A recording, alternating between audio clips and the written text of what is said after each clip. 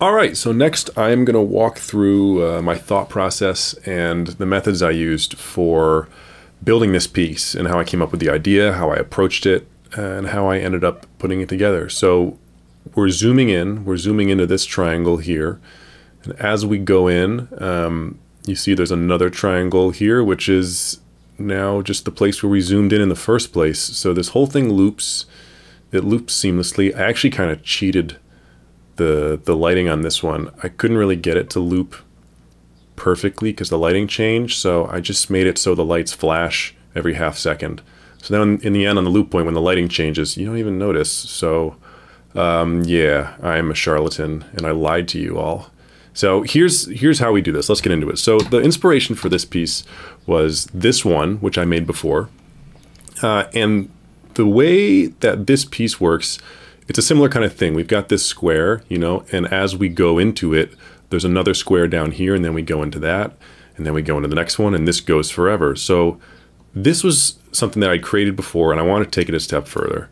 Um, just to go over how this works exactly, you have your scene with a hole in the middle of it here, and then you the scene is placed inside that hole, and then to make it loop, you're animating the little scene so it scales up to be the size of the big scene, and then you can just cut it on the loop point and it ends up looping perfectly.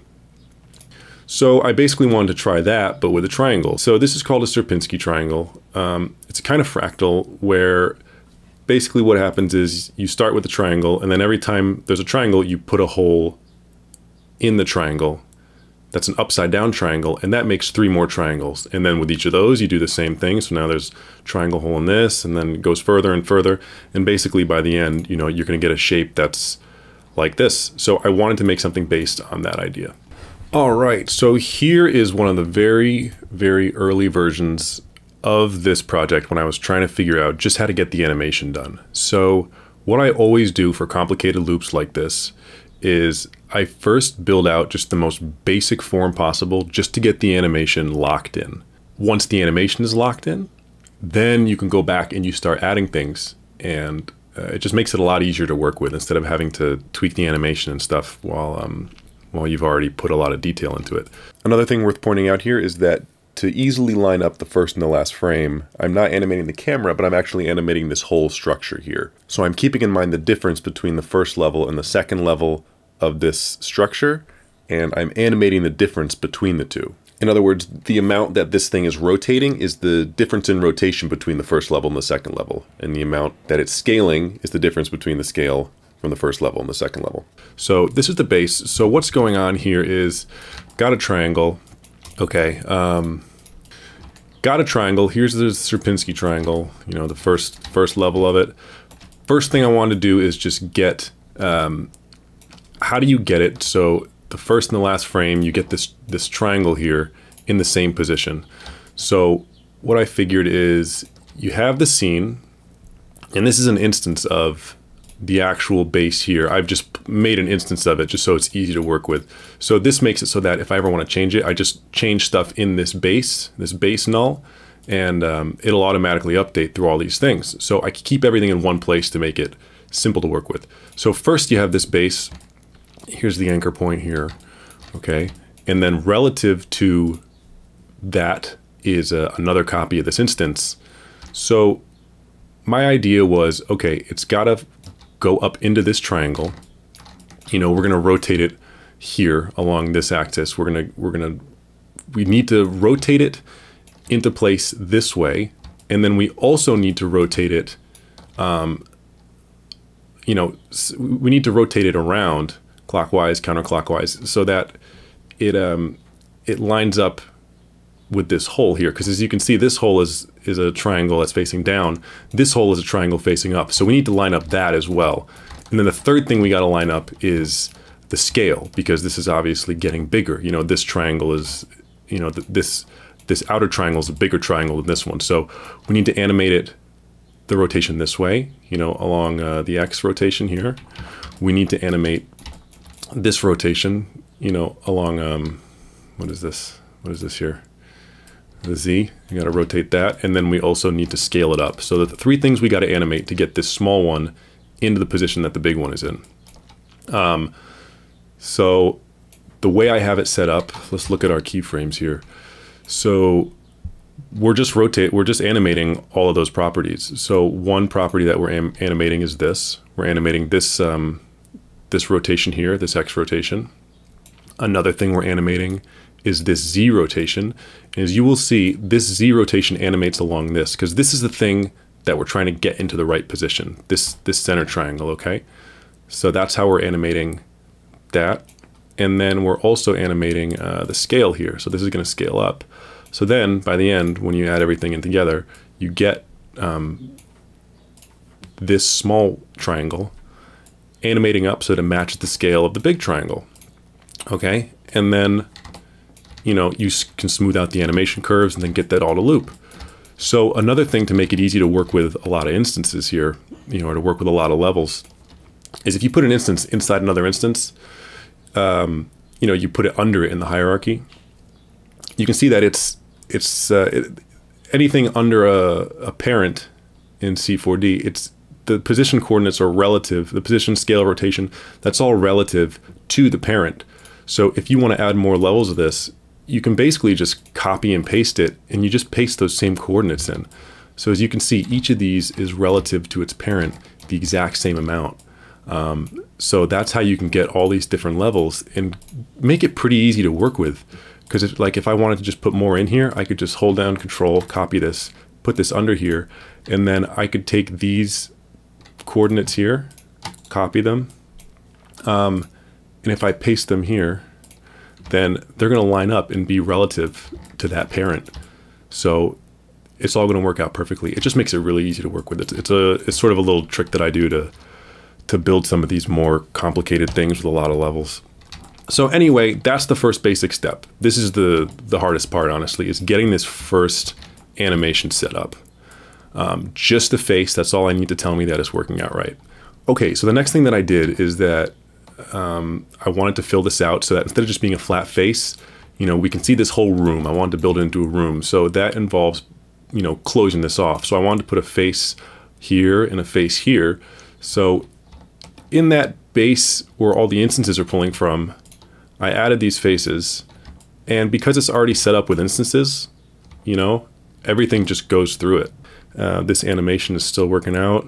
This still lines up and we can keep going and add some more detail in.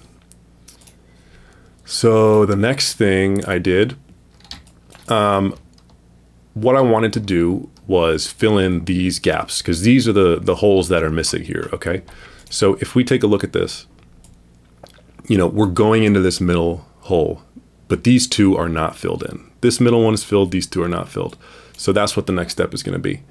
So it basically just comes down to adding more and more instances. So what I did is I made an instance, you know, this whole thing is built out of instances already. And you can make instances that include instances. So, you know, while we have an instance of this whole face thing here, hold on, let me just turn this off to make this a little more, uh, a little easier to see. Um, okay, let's just focus on this for now. So basically, I made an instance of this whole thing, put it on, on these two little holes, which is here, okay? So now we have those in there. And then I just did that again. I put another, um, another copy of that instance in each of these little instances here. So each of these includes some more instances, okay, of that thing, you know, and this is just, it just takes time to, to line them up, but uh, took a lot of revisiting trigonometry, and that's why I titled the piece SOHCAHTOA, because if you guys took trig, you'll probably have horrible PTSD flashbacks to, to what those abbreviations mean. Um, but yeah, so I just sort of did the math and, and figured out where these are supposed to go on these instances. And then um, for one more level, I didn't want to go too far and make it too crazy. So these I just capped with a little, just a little um, normal, you know, tetrahedron here um, to fill that out. So now this is what the whole shape looks like, okay?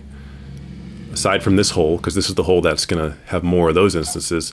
So once these were fleshed out, and now that we have this whole piece as an individual piece, now we can, uh, put these back on, you know, our original instances, and you can see how this is built up now. It's basically just this whole thing is taken, made into an instance, and that's put on those those instances that uh, we initially started out with. You know, we started with just the face. It's the same instances, just now instead of being one face, it's this whole structure that we built. So you can see uh, from this point of view, this is sort of what it looks like. We go through the whole thing, and then by the time we get back, we're already lined up because that was the part that we figured out in the beginning. You know, getting the camera and the animation perfect from the beginning, and then after that, branching out, adding more details, making it more complex. So now, this base is um, we can just work with this base. You know, we we have uh, everything here. I'll show you how it works. Um, basically, this whole thing is built out of three different faces. That's it. So here's the whole base. Like here's um, side A, side B, and side C. So you can sort of use this as a reference to see where um, where these things are, and you can see how it works. If you change anything on one of these sides, it's gonna just propagate through your entire piece because we set it up in the beginning with all the instances, and um, we set it up to be nice and easy and automatic. So one of the great things about using instances in Cinema 4D is that if you set these up um, with render instances, what it does is instead of copying all the geometry, it just references all the geometry. So basically you only need to load one level of this. Like the computer just needs to load one level of this and it'll automatically, you know, it it it just puts it through the whole thing without needing to put in more geometry, like actually putting in more. It's kind of hard to explain, but the gist of it is that um, it'll make your scene run really smoothly, even if you have tons of stuff going on. Like I've got literally hundreds of these flamingos in here, and I can, you know, drag through on the timeline. Um, looks totally fine in the viewport. Um, so now it's easy to make changes because all you need to do is hide the instances. It's all set up so you can just work on the original piece here, you know, so if I want to move stuff around, I can just do it here, you know, move a flamingo around or whatever. And then um, that all is what updates in the main scene here. So it's very easy to work with. It runs smoothly, which is really impressive. And yeah, if you set your stuff up from the beginning with this kind of organization, you can uh, make some really complicated looking stuff pretty uh, pretty simply.